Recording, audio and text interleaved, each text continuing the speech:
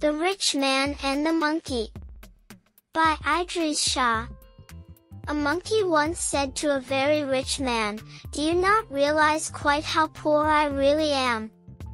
I have no great mansion, no fine clothes, and no delicious food, like you. I have no means of transport, no lofty library, and no savings. I have no handcrafted furniture, no vast areas of land, and no lavish articles of adornment. I, quite simply, have nothing at all. In contrast, you have all of these things and more. You are a very rich man. The very rich man thought of his splendid house, ran a hand over his embroidered silk waistcoat, and mentally inhaled the tantalizing aromas coming from his imaginary supper table.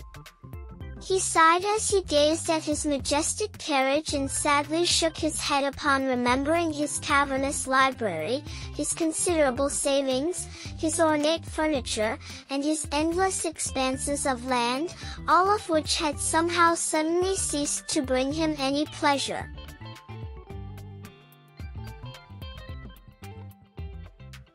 Hanging his head in shame, the very rich man returned home, where he immediately signed over all he had to the impoverished monkey. When the monkey had taken legal charge of all the man's possessions, the once very rich man said to him, Now what are you going to do with all of this?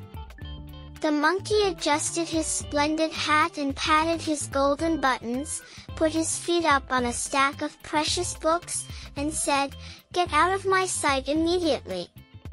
Why should I lower myself by talking to an impoverished fool like you? The story highlights the themes of perspective, where wealth does not necessarily equate to happiness, and the importance of thoughtful generosity rather than impulsive giving.